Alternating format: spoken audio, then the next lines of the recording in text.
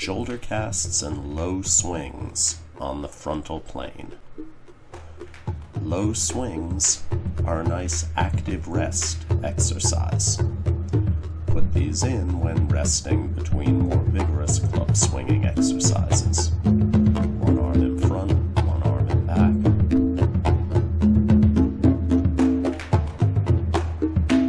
The next exercise casting a fishing rod off of the shoulders. Let the momentum of the clubs determine the speed of the exercise as the clubs dip back behind the shoulders and then are cast outward away from the body.